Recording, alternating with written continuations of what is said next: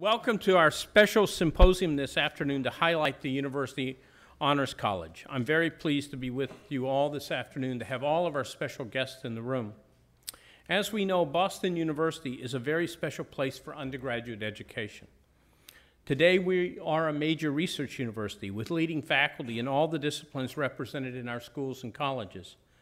Simultaneously, we are an institution dedicated to the most rigorous undergraduate education that offers a combination of a great liberal arts experience and the possibility for professional education, thereby providing our students for citizenship in the world and for launching their careers. The University Honors College was designed by our faculty to create a special environment for the brightest and most ambitious of our undergraduate students. Here they are to have access to very special, a very special general education that combines contextualized disciplinary content and learning integrated with the process of discovery, all while continuing to give students access to all that Boston University has to offer in all its schools and colleges.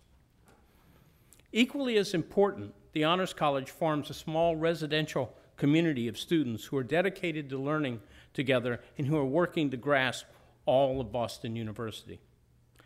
Today, we are here to celebrate the founding of the University Honors College and to make a very special announcement. Today, we are announcing that trustee and Boston University alumnus Rajen Kilachand, who's sitting on the front row, graduate of School of Management 1974, has pledged a gift of $25 million, the largest gift in Boston University's history, to endow the University Honors College in the name of his, uh, parents.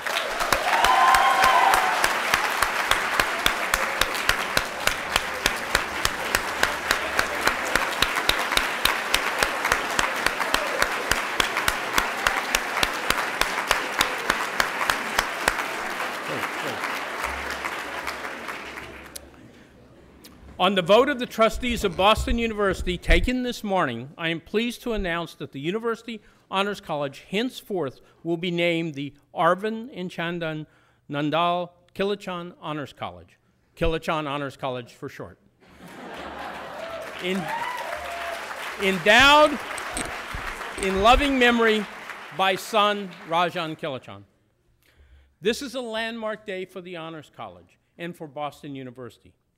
Through the vision and support of Rajen and the creati creativity and energy of our faculty, the Kilachand Honors College is positioned to educate the best of future generations of Boston University students. Today, we have assembled an outstanding group of the University uh, Honors College faculty to mark this day, and I'm pleased to introduce Charles Dellheim, Director of the Kilachand Honors College, to make remarks and introduce our speakers. Charles?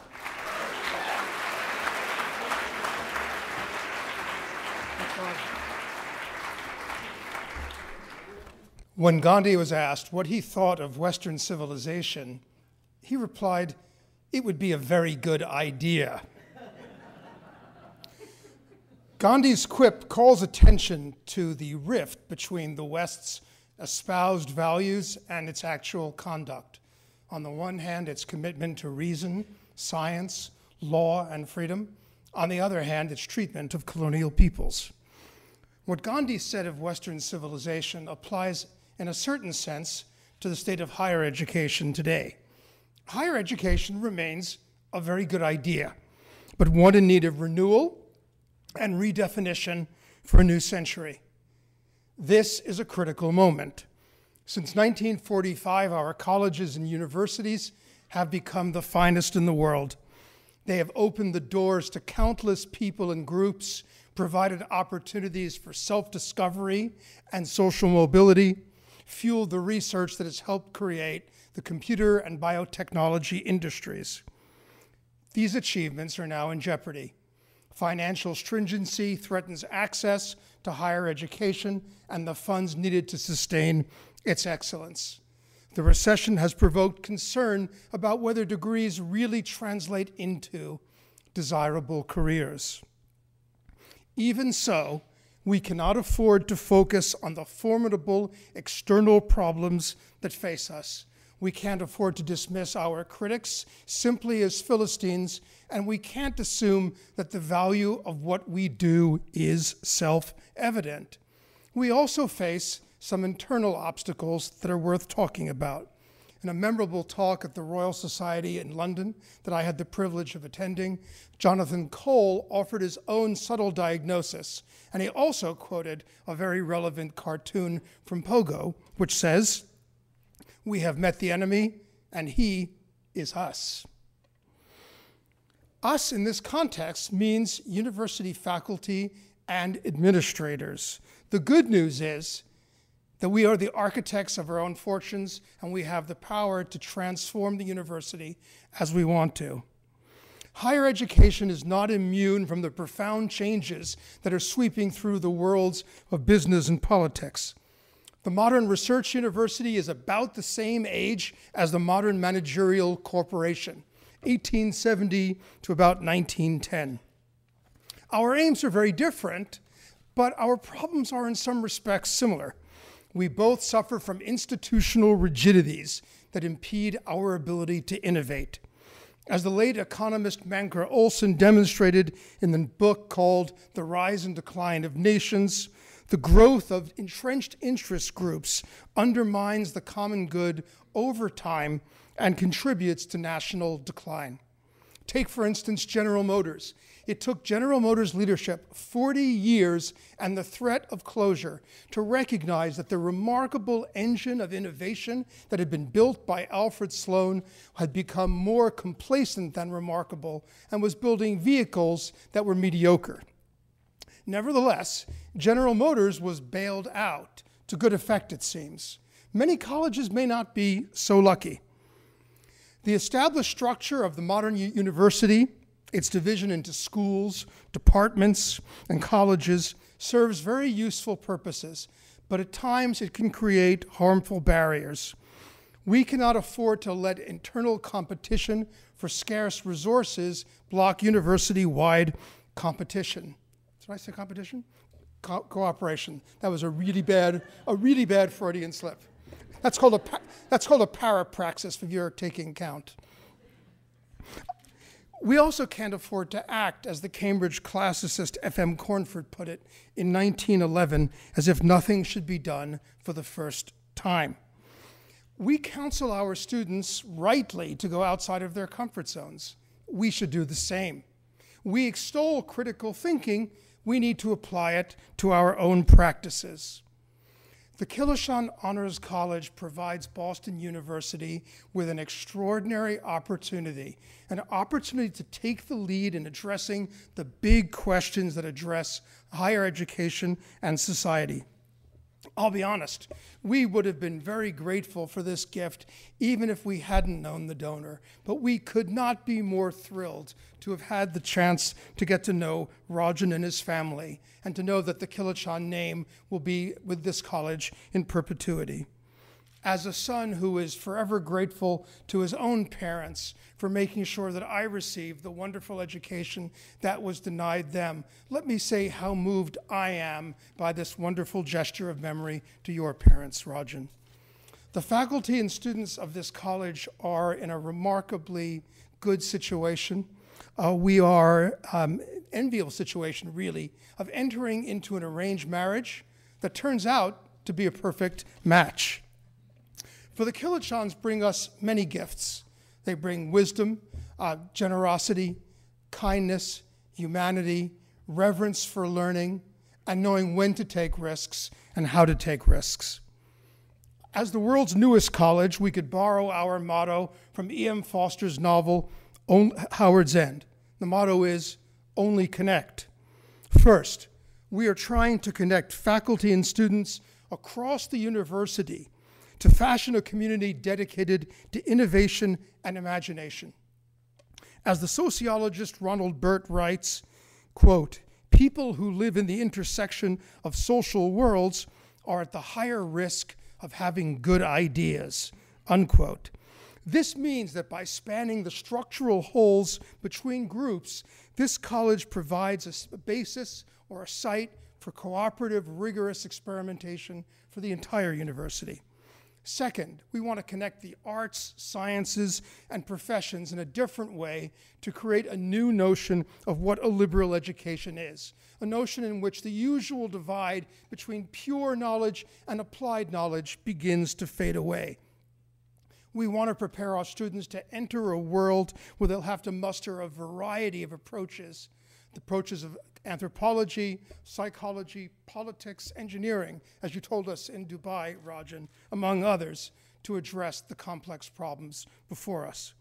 Finally, we want to connect research and teaching as closely as possible. This entails exposing students to the creative work of their professors early on and fostering their ability to do creative work of their own both before and after they leave here.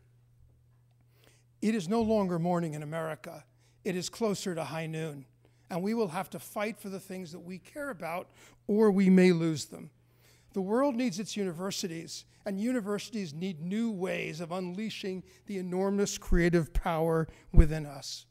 So, on this special day, let us dedicate ourselves with humility, honor, and humor to the task ahead the pursuit of learning, the quest for truth, and the dedication to humanity that remains the heart of all true education. I want our students and faculty to know how proud I am of them and how grateful I am for their support. I want my brothers in arms, Andy Cohn and Jim Schmidt, to know how much I appreciate the extraordinary efforts that were essential to making this college what it is today. Now, please join me in thanking the men whose vision and efforts have brought us here today. Bob Brown, our president, who led the way, and Rajen Kilachand, who has opened the gates. Thank you.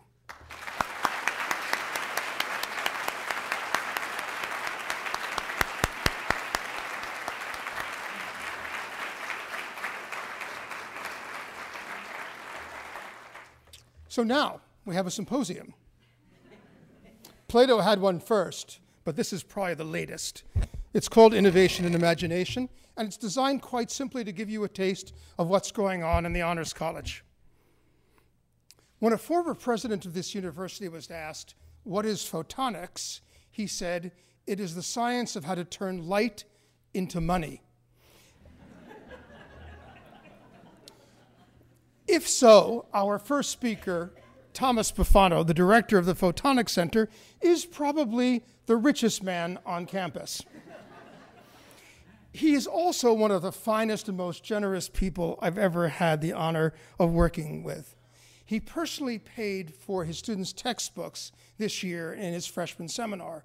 As a result, we've decided that from now on, Tom will be the instructor of record in all University Honors College courses.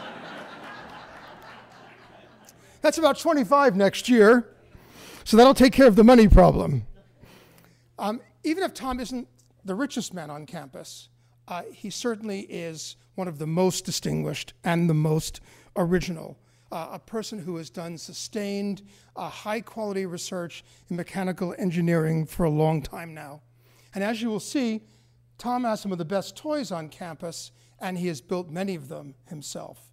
His presentation today is called Making Light. Tom.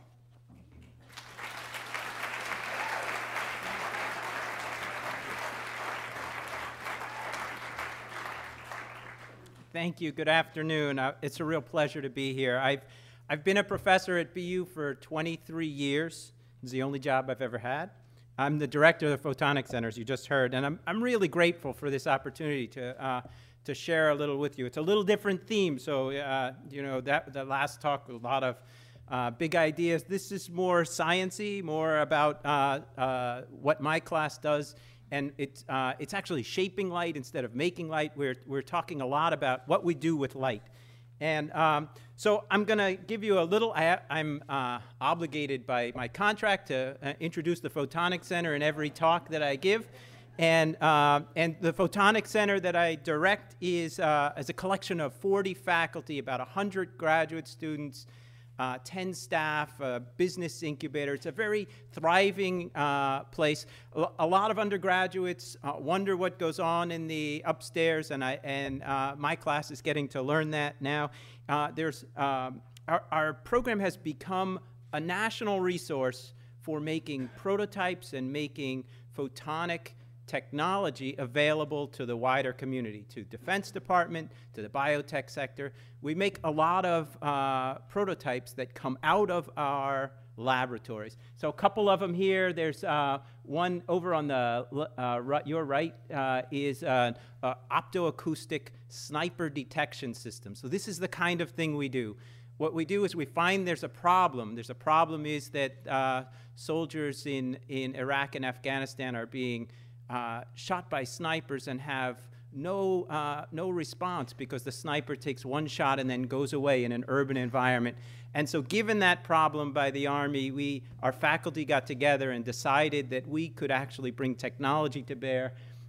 And we made something that, that actually set the standard in the Army for what the, uh, what were the requirements for future sniper detection systems. This is very rewarding. And we also make um, uh, bacterial and viral detection systems to be the front line of defense on detecting and finding bacteria. So this is, uh, the, and these end up at military labs. We do the same thing for industry. There I've done it. I've done my photonic center uh, duty. But please come to our website and see what we do. We're also very interested in education. We have summer programs for undergraduate uh, students. If you're an undergraduate interested in doing research, think about joining up with a faculty member from the Photonics Center. And um, this, is, uh, this is my course. This is uh, Engineering Light. This is what my, uh, uh I got into this course because I was inspired by uh, Andy Cohen. Andy Cohen talked to me about uh, the Honors College, told me what was going on, and, and, and I really um, asked him if I could be involved in it, and he was gracious enough to, uh, to find a place for me, and I'm very excited to be in this program. My course is, um, is about sh shaping light and engineering light, and we, the central theme in our course is learning by doing. So this, uh, the students who are in my class know that pretty much everything we do, uh, we, we have hands-on. And uh, for example, uh, this is up, we went to the Science Museum. Uh, this is a photograph of my class in uh, one of the exhibits at the Science Museum. They're all bent up by the lights in the mirror. Um, but but uh, that was our first field trip. And we do these demonstrational learning experiences in class. The first one we did was we made a light bulb. So we got the patent from Thomas Edison. We saw what he had done, and we recreated that in the, uh, in the lab. And Thomas Edison pulled a vacuum on a glass tube and then set a filament through it. And the students wanted to know, well, what happens if there's no vacuum? And we did that, and there was a lot of smoke. And and then we're going to measure the speed of light. We're going to send a laser beam down the hall, have it come back, bounce off a mirror, and see how long that takes. We're going to image our own retinas. I'll talk a little more about that in a minute. We're going to search for planets outside of our solar system. This is something that's brand new. Uh, astronomers have been able to see planets outside our solar system for the first time in the last five years. Uh, we're going to fabricate optical microstructures, and we're going to control deformable mirrors. Now, this last thing is where the class intersects with my research. So I'm going to give you a very quick tour of that. My uh, research, there's a challenge that's associated with telescopes and microscopes, which is that they're both pretty blurry. Telescopes because of the atmosphere, and microscopes that look at your retina because of your corneas. Both of them are blurry. So this is Galileo 400 years ago he looks up at the sky with the telescope, and this was exciting for him. This is Saturn. You can see the rings, but it's blurry. Let's face it, there's not much there. So 400 years later, go to the Keck telescope. We've built it for $100 million, and here's a picture of Neptune. It's really not that much better, right? so this, you can see a little guy here. That's a guy, that's the telescope. This is Galileo's telescope. Pretty much the same thing. And in your eyes, the doctor looks at your eyes with a thing called an ophthalmoscope. This is a picture of your whole retina. And we're going to take a very little section of that where all the cells are that are related for disease and function of the eye photoreceptors, capillaries, all that stuff. We zoom in, and this is what we see. It's a little gray blob. You don't see anything there. So that's the problem. Your corneas, the atmosphere. It's, it makes things hard for telescopes and microscopes. My group makes deformable mirrors. Deformable mirrors fix this problem. You stick them into the microscope, you stick them into the telescope. Long lecture on that. I have a couple minutes left here. I'm not giving it to you. This is what the telescope looks like. So this is the telescope with the DM. And then this is what the ophthalmoscope looks like. This is the same telescope and the same ophthalmoscope, but now you see photoreceptors. These are the things that let you see color. So you suddenly can see that. That changes the game for the ophthalmologist and the clinical researcher. So now all of a sudden we can start thinking about uh, what, what's going on in the retina. So what, how does our group get involved in this? This is, uh, this is myself and a couple of my former students who are now president and vice president of this company, Boston Micromachines. There's about 15 people at that company, and half of them are BU graduates. And they go about uh, commercializing the technology that spun out of Boston University. So this is a deformable mirror made with semiconductor fabrication tools. We have some of those in the Photonics Center. This is a cross-section of what it looks like. And, oh, no, that's not it. There, oh, no, we can't do that. We'll click on it. How about if we click on it? Oh, forget it. there. It was not worth it, right? So there's the, there's the, uh, the mirror moves up and down, big deal. All right, so how does this intersect with the University Honors College? What we're going to do is we're going to fabricate optical microstructures. I took this from an engineering class I teach. We go into the clean room in bunny suits. We, you know, we, we spin photoresist. We write, our, uh, we write letters that are 100 atoms tall on a silicon chip, and we make that into a letter that they send home to their parents. Here's this says, Hi, Mom, BU is great, see you soon, Ed. They send it home. The parents have no idea what the little chip of silicon says, but you know, it's, a, it's, a, it's fun. They enjoy it. and this is the deformable mirror itself. The students will control these deformable mirrors. This is actually a measurement of the deformable mirror moving around with colors corresponds to deflection, and it's all very interesting. And so the students will get a chance to do that and play with that.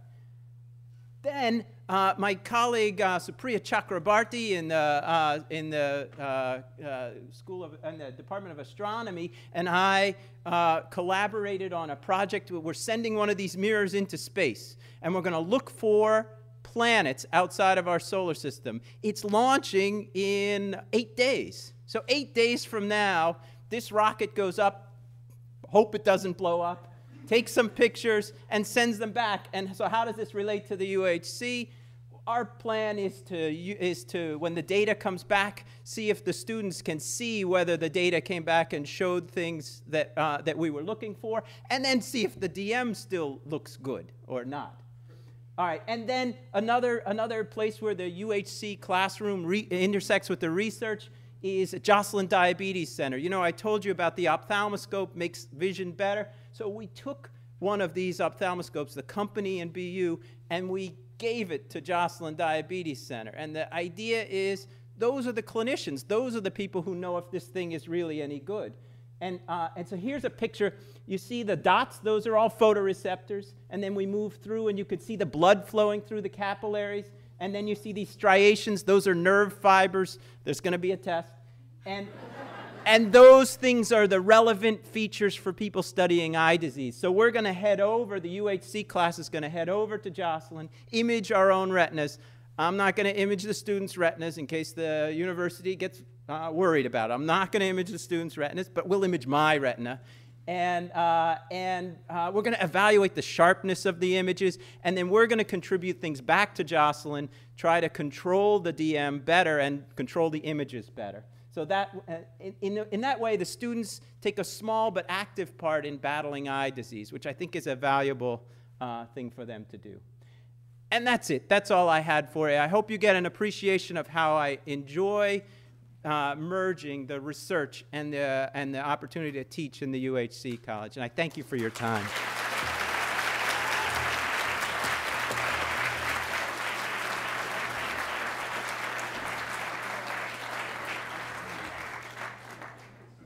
You know, it's very hard to organize a lineup when you have uh, four cleanup hitters, but I think we're doing that. Leo Tolstoy wrote, Historians answer questions nobody asks.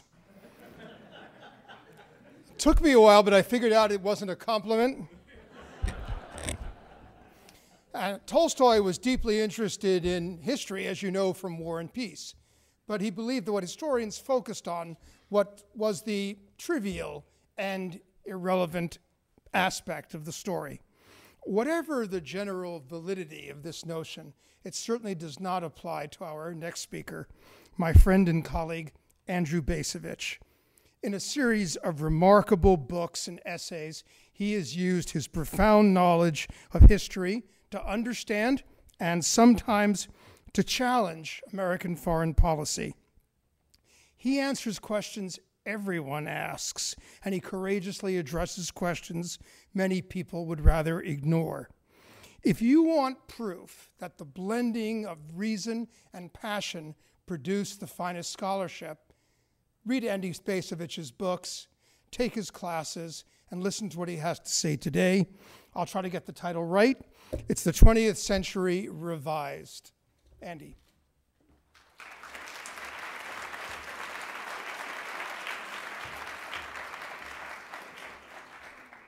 So thanks very much.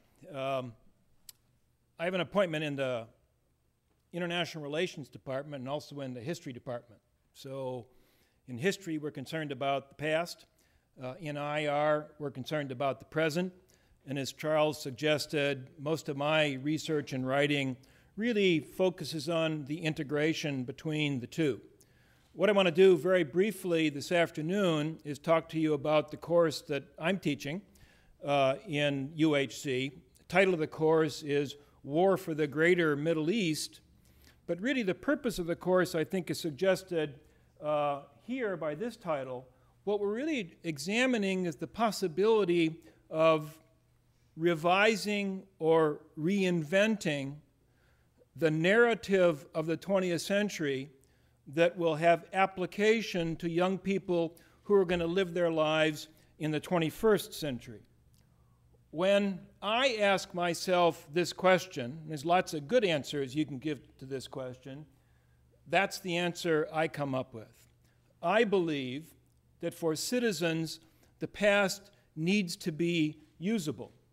Now, this citizen, you said, sir, that you're 62. I have to tell you, I'm 64. Uh, I am into the realm of old fogeydom.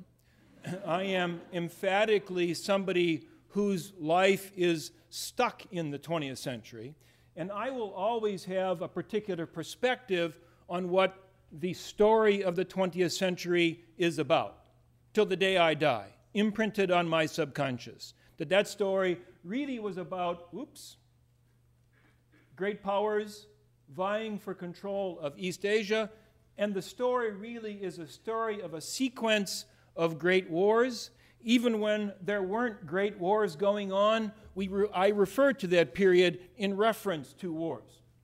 And that this period ended more or less around 1989 or so. And I have to say, back in 1989, I thought that something really definitive had occurred.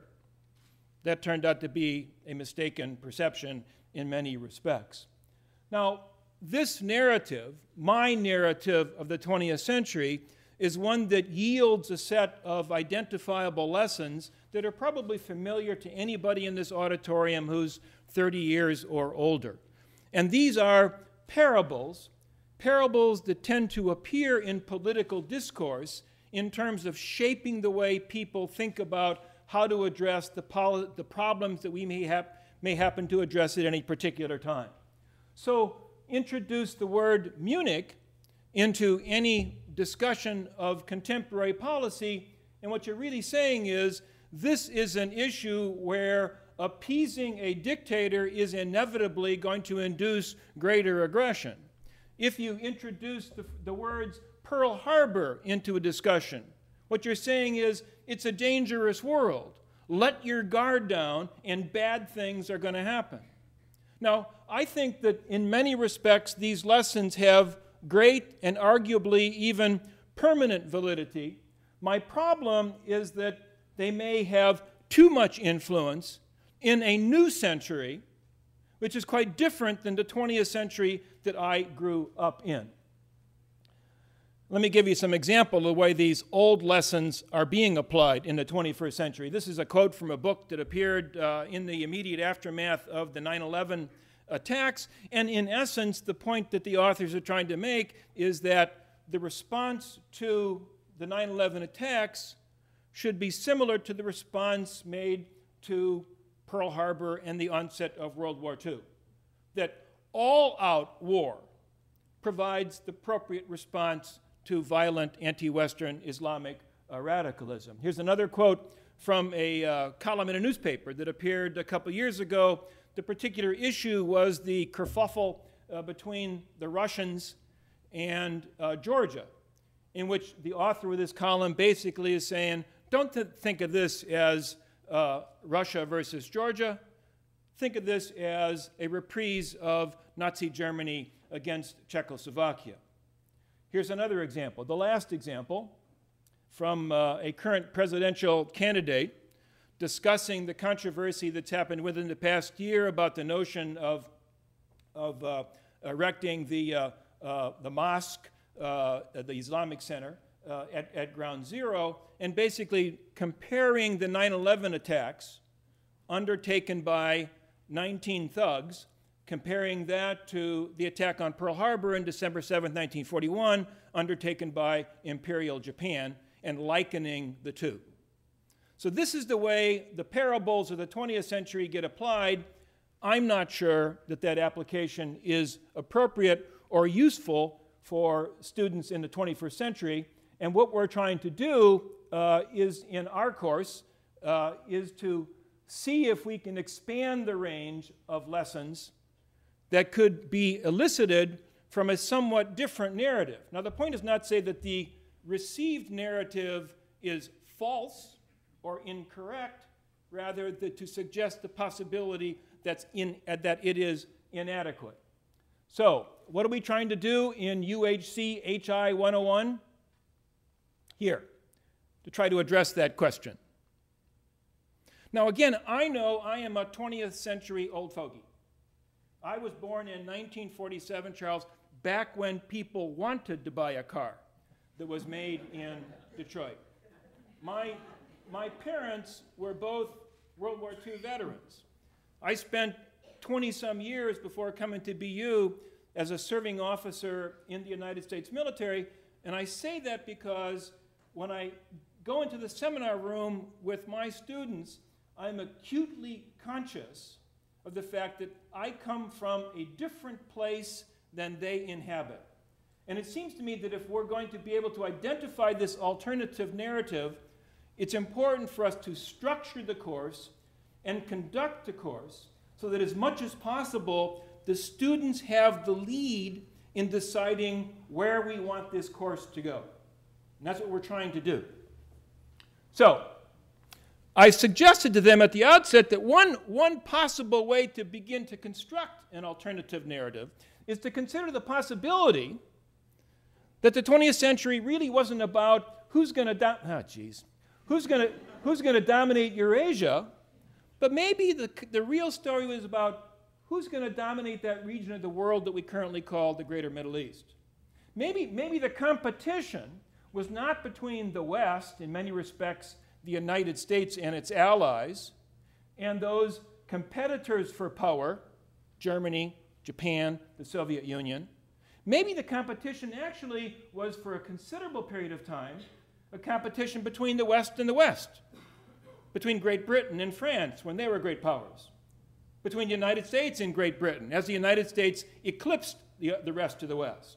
And maybe also it was a competition between the West and, of course, nations and groups in the Islamic world. That was the place that we began. And I said to them, I said to the students on the first, um, on the first, uh, first day we met, well, what then are the themes around which one would build an inquiry to try to structure this narrative? And we agreed on the themes that you see outlined here. And what we said was okay, if that's the basis of the course, how did we get here? How did we get to the point where every day in the newspaper we read about this persistent Israeli Palestinian conflict? How did we get to the point where we are now 10 years into a war in Afghanistan that now extends into Pakistan. And, and not only do we not want to know how we get here, but then what does this story teach us in terms of lessons comparable to Munich, comparable to Pearl Harbor, that can help 21st century students think about the world in which they're going to live? So, we're doing this, approaching this by um, beginning in the present, going into the past, heading back in time. I think we're going to basically probably end up around World War I, heading back toward World War I. Could be we'll get further than that. And, and accepting the possibility that we're going to come up with a story that's going to be significantly different than the story that is my story of the 21st century. How do we do it? Well, we do it by the students collectively. We do that at the end of each meeting, the students collectively identifying the questions that we want to undertake for the next meeting. What do you want to talk about? They decide. Now, I'll, I'll be honest with you. Through the first five lessons or so, I feel that I have been too directive. I have not given them enough leeway, and I'm going to keep working on that. But on the other hand, if I'm, if I'm not blowing smoke at you, that's a term we used to use from my previous life, my students in this auditorium should be able to identify the questions that we're going to talk about when we meet next Tuesday. So, Anisha, are you out there? what are the five questions that we have identified for next Tuesday?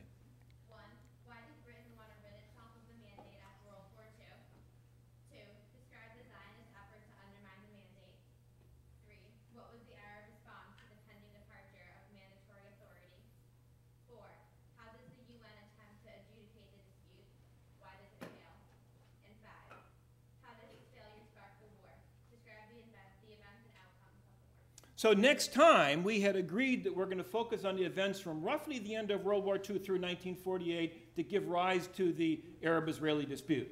Those are the questions that we're going to talk about.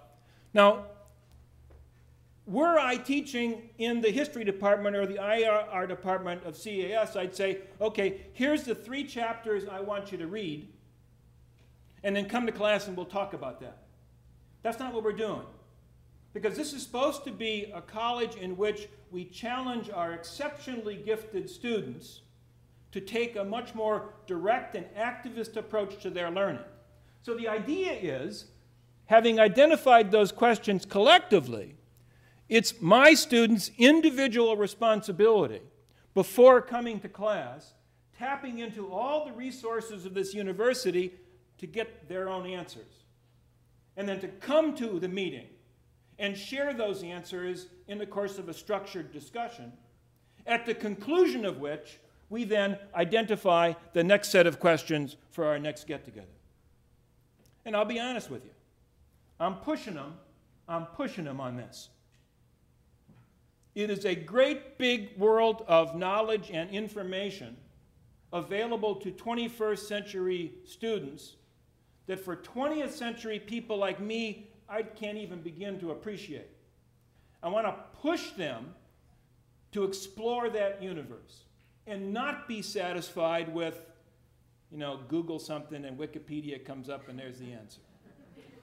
But I'm pushing. And I'm saying that so that you understand.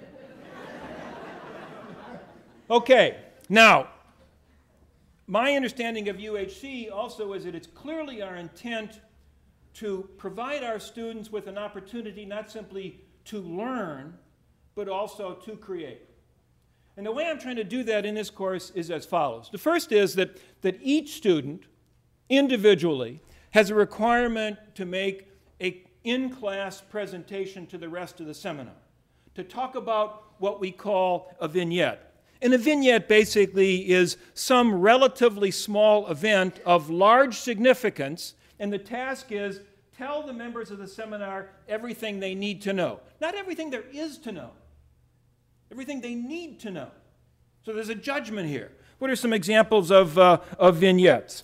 Uh, the U.S. shootdown of Iran Air 655, the Israeli attack on the Osirak nuclear reactor, the Iran Contra scandal, the uh, terrorist attack on the U.S. barracks at Khobar Towers in Saudi Arabia, things like that. The second thing, the major written requirement of the course, is to interpret a document. And what this means is your individual students writing for me, what is it? What does it say? Why does it matter? What is the legacy? So, examples of some of the documents that they're assigned. One document is the movie Exodus. In my mind, a genuinely significant historical document because what it says about the portrayal of the founding of Israel in popular culture circa 1962. But other examples would be the Balfour Declaration, the uh, Carter Doctrine, the Palestinian National Charter, uh, the uh, Obama, excuse me, the Obama, the, uh, the Bin Laden Fatwa of, uh, of 1996. That's another one of those. Um, yeah, one of those. Right.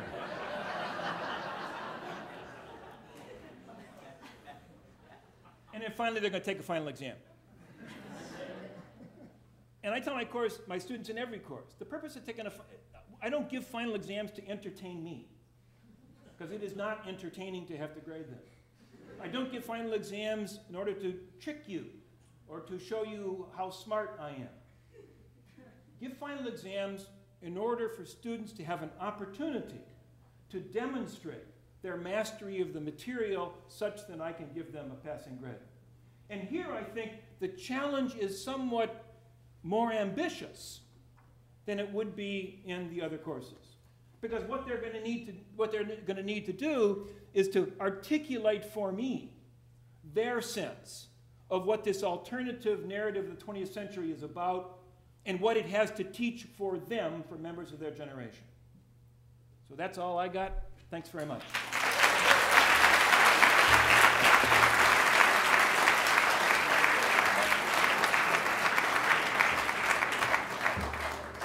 Building and sustaining the excellence of a college requires bringing in and keeping in the brightest young faculty.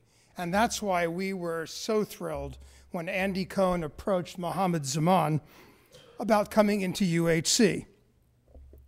Nevertheless, um, I have a slight beef with Mohammed. I was looking at the program on the way over, and I noticed that though I've been a professor for about 30 years, and Mohammed's been a professor for how long? Yeah, okay. His title is about twice as long as mine. so I'm having what Freud in an unpublished paper called title envy.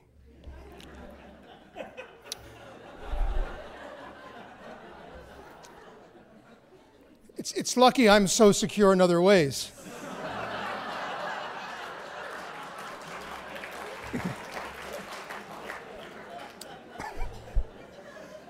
Sorry, as my wife, my wife will tell you, I haven't been able to talk for about a week. It's probably been the best year of our marriage as far as she's concerned.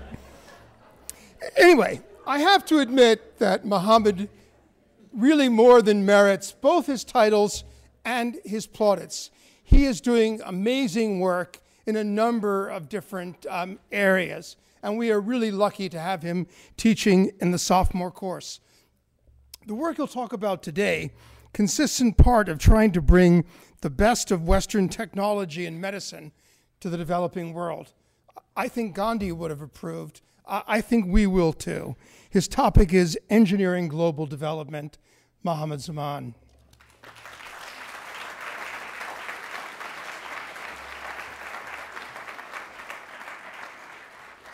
Thank you, Charles. Um, no comment on uh, that point. Um, we live in a in a very difficult world. There's a world outside Boston, there's a world outside the US, there's a world out there that does not have even the basic necessities that we take for granted.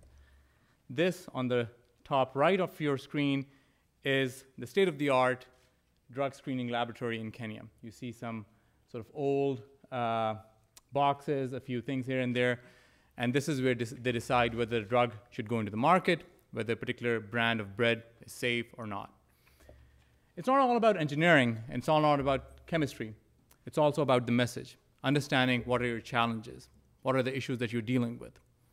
So my question to you and to me is, what is the job for an engineer? in solving these crises, what is something that we can do? And what are some of the challenges that we see in the world? This, uh, this map of the world is a couple of years old from the World Health Organization. Um, and it's not a very happy map. This is a map of the probability, the chances that someone will have to have a fifth birthday. And the chances are pretty bad in most of Africa, parts of South Asia, Papua New Guinea, parts of Latin America. In parts of the world, 200 or more than 200 babies never make it to the fifth birthday. Pretty bad. Most of these disease, diseases come from pneumonia. Now, here's another map about something that is common between all of us. Every single one in this room shares that, and that's the cell phone. This is the world cell phone usage map. Every single one of us either has a cell phone or has access to a cell phone. Now, these two things seem completely unrelated, and probably they are. Then you go to another thing that is also unrelated. For those of you who haven't taken my class, you'll see a whole bunch of things that are just completely unrelated, uh, and we'll try to tie them together. Here's something that is coming a lot in the news these days Millennium Development Goals. A goal that we are setting at the United Nations for all of us, every single country. A country where I was born, a country where I live now, a country where I work, a country where I'll probably work next year.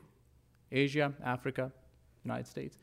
And these are goals that we want to achieve in the next three years. We set them about 10, 12 years ago, but in the next three years, we want to achieve all of these. And the, these are things, all of these things we take for granted, every single one of them in this country, in this room, in this, in this university. But these are challenges that most of the world is not going to be able to make it. Most of the world. Okay?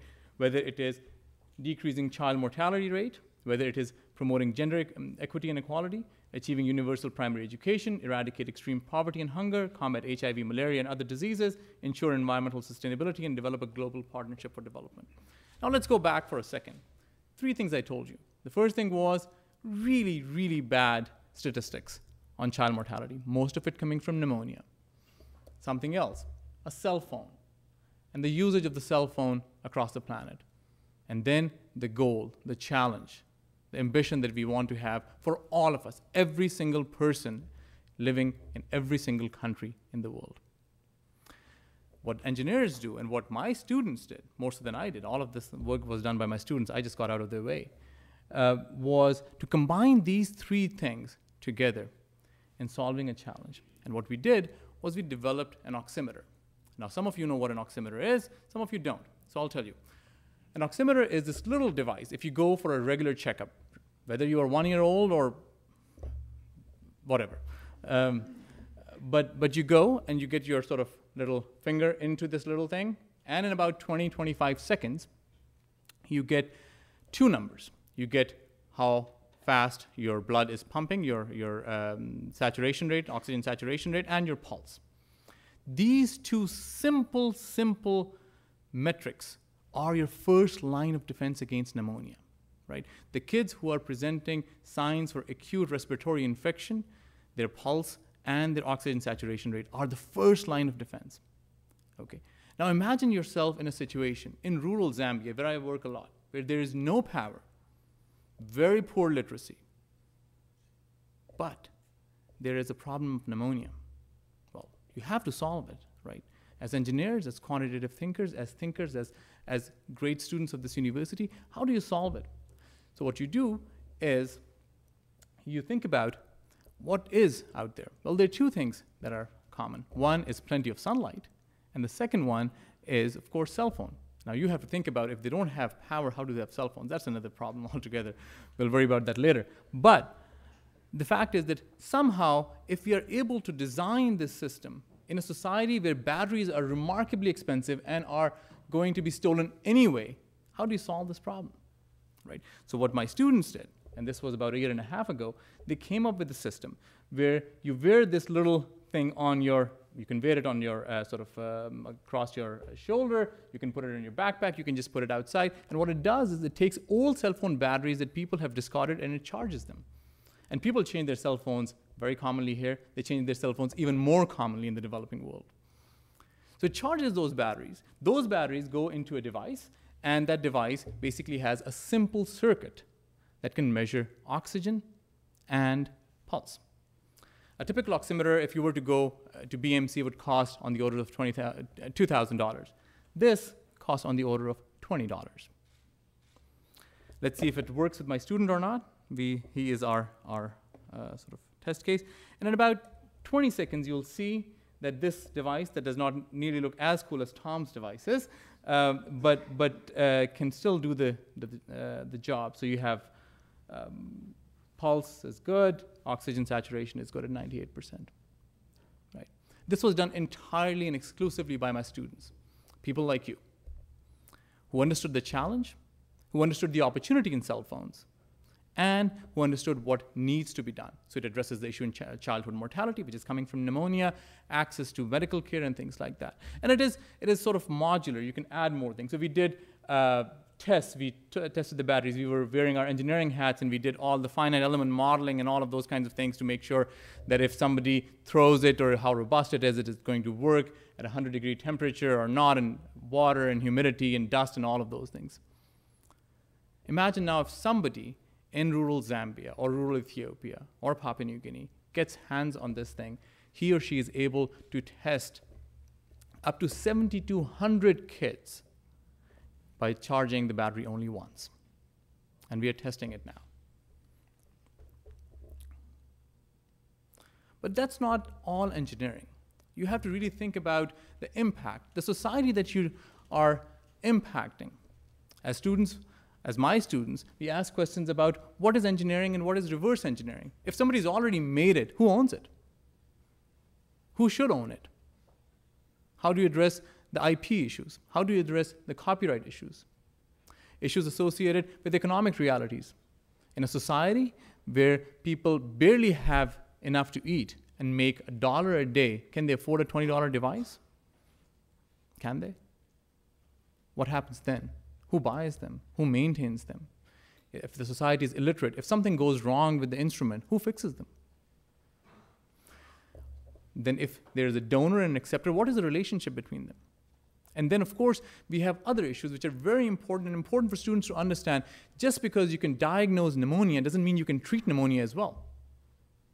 So, if you don't have any treatment mechanisms, should you tell someone that they have pneumonia? How do you fix that? These are complex challenges which are far beyond the engineering realities. I'm not saying that engineering isn't, isn't important. It's fundamental to addressing these challenges. We have to do that, but we also have to take the long range view here and understand the public policy aspects, the economic aspects, the sociological aspects, the sociocultural aspects. And then we have to worry about how do you stay in business? If I make these and make a company out of it, how do I get the next generation of these? Version 2.0, or version 5, or version 10. And these are things that are important for engineers to work in the real world, but they're also equally important for my sociology students for my students in economics, in religion, in culture, in international relations. And the way we do that is we have created a system, an online system we call LEAD, Laboratory for Engineering Education and Development, where we ask people to comment on these things. It's completely open source. So I get comments all the way from, from Colombo to uh, Colombia, or from Peru to Pakistan, or from Kuala Lumpur to Karachi. Everybody can participate. Give me his or her input. How do you solve these challenges? How do you address them? What is the problem that he or she is facing in the society? I get 20 to 30 emails just about this every day. Somebody saying, Well, I think this is a pretty good idea, you should try this or that. And then we, we, we try to address those concerns, not only about an oximeter, about other devices as well. So, what I want you guys to do, and I hope I'll be able to convey this in my, in my class when I teach in sophomore level, is that these are system level problems. These are challenges that require engineering to solve, but engineering alone isn't enough. These are problems at the global level. And as citizens of this globe, and as conscientious citizens of this globe, we have the responsibility to solve them. But we can only solve it if we work together. Thank you very much.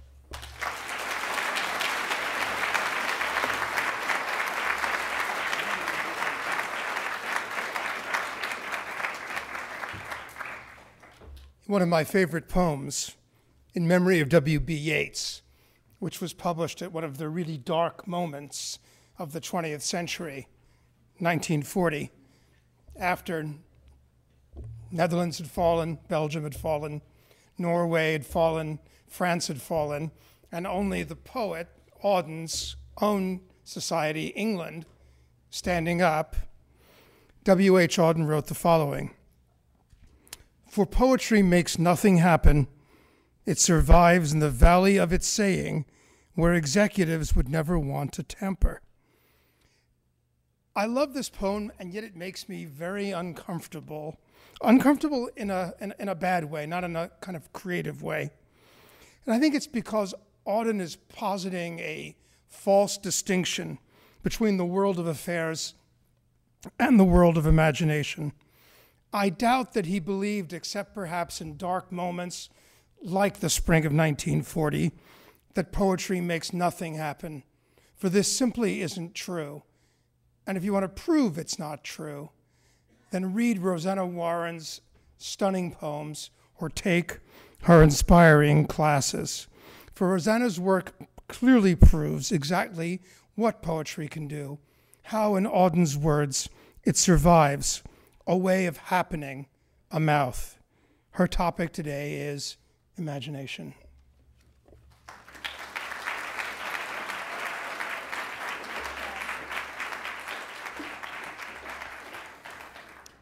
We are complex creatures with many faculties. Five senses are corporeal knowledge, emotion, dream life, as well as gifts for abstract analysis, synthesis, organization, and computation. Poetry is a mode of knowledge, of exploring and representing reality that mobilizes the whole human being. It's a hybrid art that combines music, image making, counting, analysis, and argument, and trains our intelligences to work at high speed with very disparate materials. It is not a decorative art, and it is not, or not only, entertainment.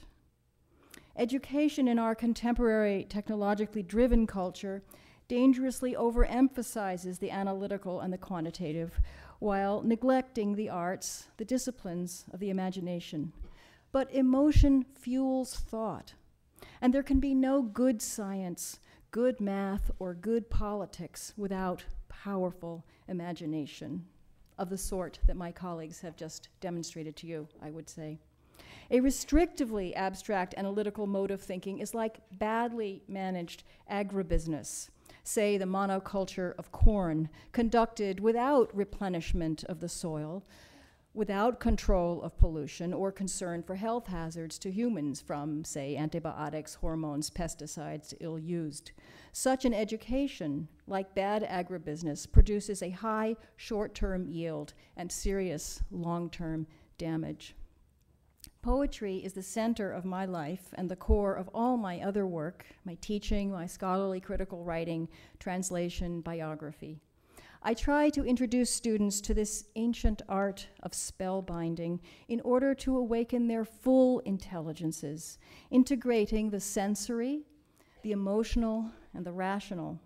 In the course I'm teaching this fall, Literature and Hunger, we read classic and modern works, Homer, parts of the Hebrew Bible and Christian scripture, the letters of St. Catherine of Siena, Milton's Paradise Lost, Kafka, some contemporary poems strictly from the point of view of the consumption of food. Day by day, students learn to proceed from observation to analysis to interpretation, drawing on anthropology, theology, psychology, and yes, literary criticism. We ask, what is food? Who eats what and why? Who eats whom? What is sacrifice, human or animal? What makes it sacred? What's forbidden? Why? How does feasting create a community or destroy it, say, in the case of the suitors at Ithaca devouring Odysseus' household? What is starvation? What is disordered eating? Was St. Catherine of Siena a pathological anorexic, a victim of her 14th century culture, or was she a powerful woman helping to shape this 14th century culture? Why were medieval Catholics in Europe, who consumed the body and blood of their broken God every Sunday, so obsessed with accusing Jews of eating matzah soaked in human blood, the blood libel? What evidence do we have, and how would we argue it? How do we make the meanings in which we live? The marvelously bright and ambitious students in the University Honors College are hungry for knowledge and hungry to think about thinking, and poetry is one way of helping them to do that. I'm going to read four short poems of my own, showing a range of themes from fictions of the private life to public engagement. Poem, I have a poem about war and another poem about that interesting topic, money. Lyric poetry isn't only about the little ego screeching, me, me, me, though sometimes it seems that way. I'm going to start with two of the private poems, and I emphasize that they are fictions moment. When you turn to me, you in bed, still sleep warm against the pillows, I across the room, skirt zipped, stockings on, and you asked so quietly, Was that a truthful answer?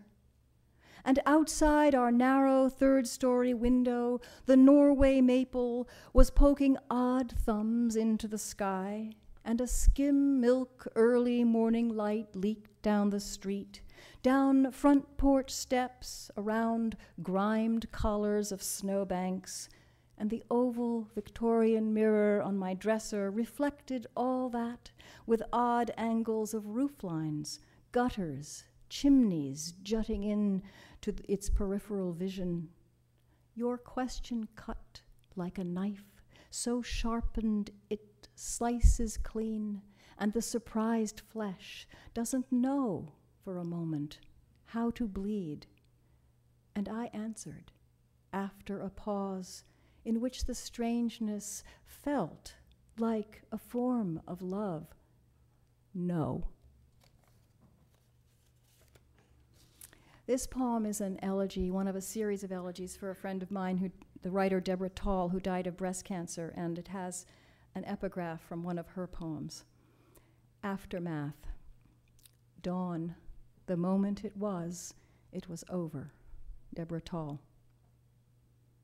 It was that last euphoric summer between one chemo and another when you looked out your kitchen window and saw the doe standing at the edge of your lawn where the thicket gathers, autumn olive, buckthorn, forsythia, dogwood.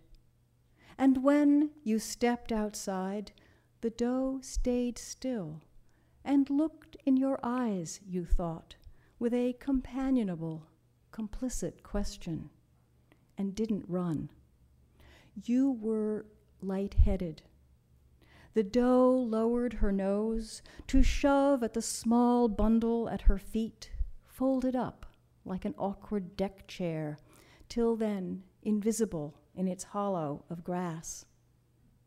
She had just given birth. The fawn couldn't stand, but raised its too large head to gaze at you.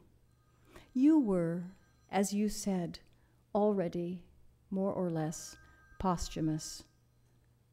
You took each other in, one of you before, the other beyond fear. Two creatures, side effects on one another, headed in opposite directions. Now, here's a poem with a very different kind of tempo and mood. It's called Porta Portese, which is the flea market in Rome. And I'm kind of proud, not, not being an economist, that I wrote this poem about money in the summer of 2008 before certain events in Wall Street. And I tell my Roman, my Italian friends, in case they should be offended about my depiction of Rome here, I said it's not really about Rome, it's about Wall Street. Porta Portese.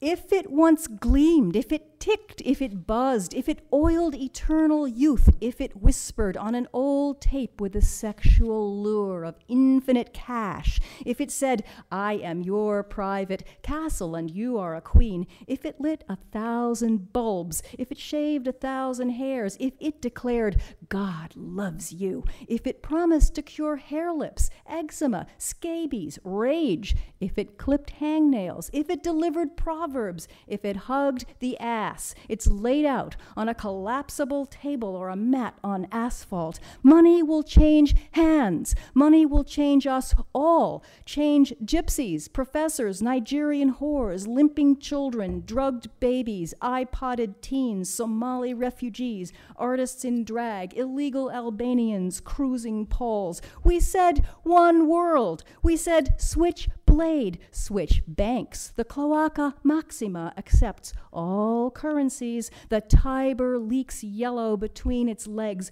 venereal, venerable, duty free, luxurious, silken rippling, classical waves, sold and soldered, solved, reflected here.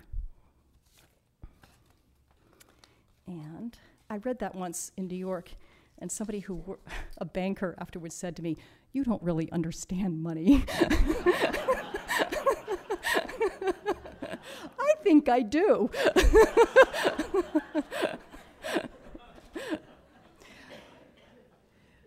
a military person might say to me, say Andy Bacevich might say, I don't understand war either, but here's a war poem.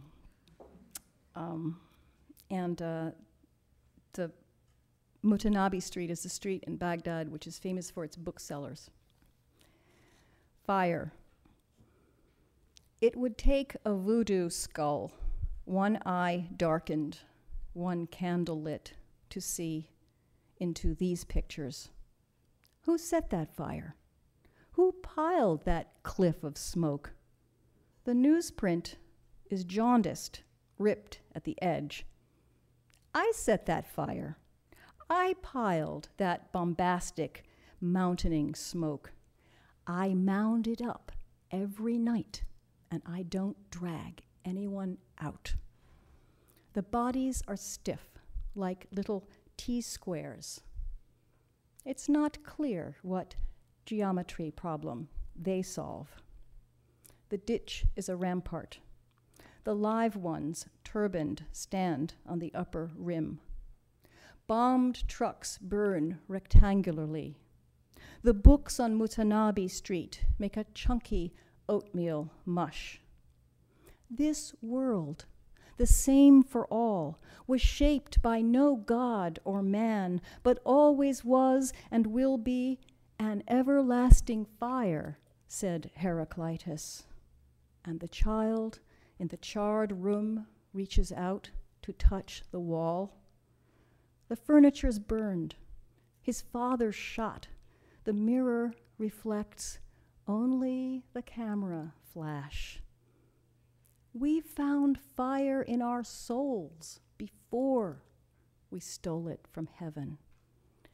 Now, we are the lords of light, and the dark room is ours. Thank you.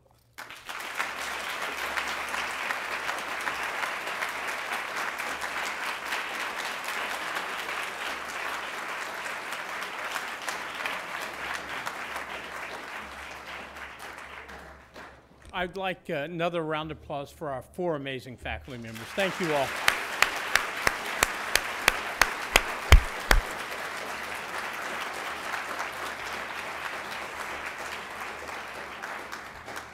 Rajen, will you join me on the stage, please?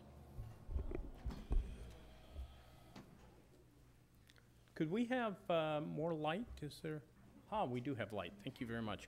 Um, I, uh, to commemorate this day, I'd like to make a, a small presentation. Rajen, because of your vision for undergraduate education the role of the Honors College in educating both our very best and most ambitious students in helping transform education in a great research university, I'd like to present to you over here a plaque to commemorate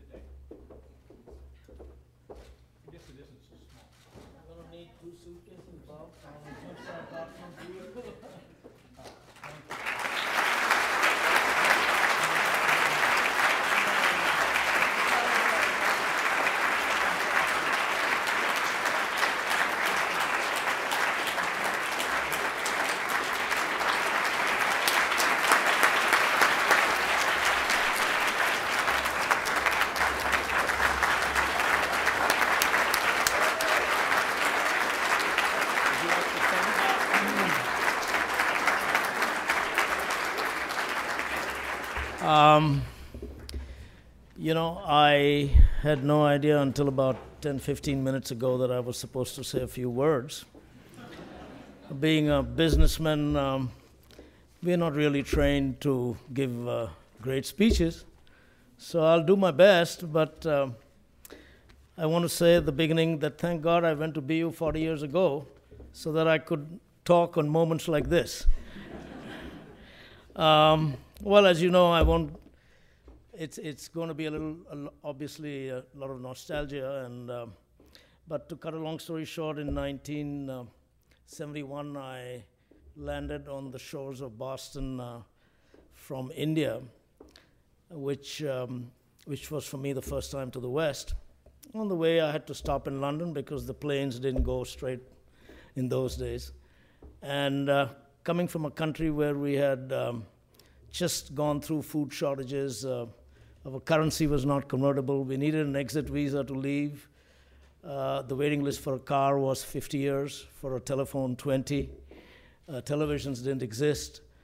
And uh, so it was two completely different worlds.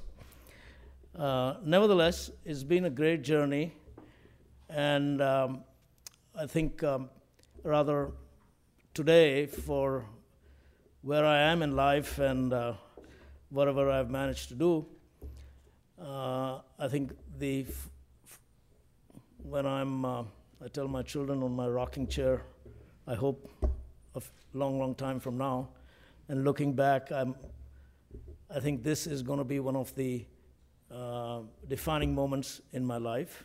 The first one being, of course, uh, coming to BU.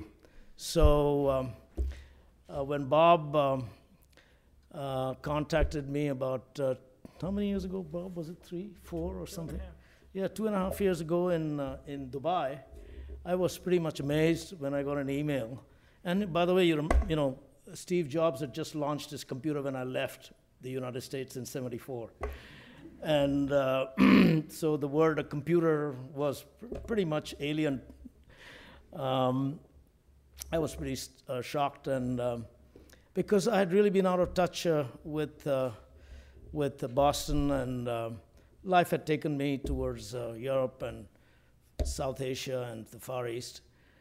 So one thing led to another, and um, we started talking, and um, uh, I, I um, um, expressed interest in doing something for education and something substantial, and um, I said primarily Boston University. Uh, and of course, then we started discussing concepts, and um, um Bob and uh, Scott and everybody came quickly, came reverted back to me and said, "Listen, we have a great concept for what you, this the the journey of your life that I've been I described to them, and you know, in a nutshell, uh, this symposium uh, really uh, is a microcosm of."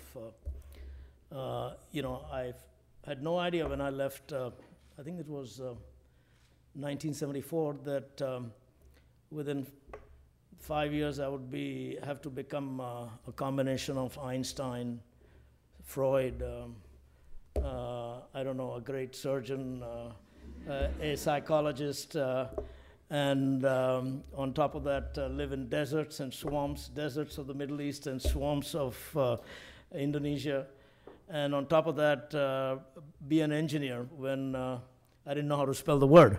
So anyway, uh, so here I am, and um, when I, um the last few days that I've been here, and actually the last two, two and a half years that I've been visiting here, um, it's been absolutely a, a brilliant journey, and um, as I told, I keep repeating now to Gene and Bob and everybody, I said, um, you know, can I uh, have uh, only one request attached to this 25 million? Is that can I attend a few of the classes up here? but for God's sake, don't give, make me give an admission test. I'll never, I'll flunk out, you know? so I think uh, all of you are, as we heard, are going to live in this 21st century. And um, it's it's, it's a fantastic time.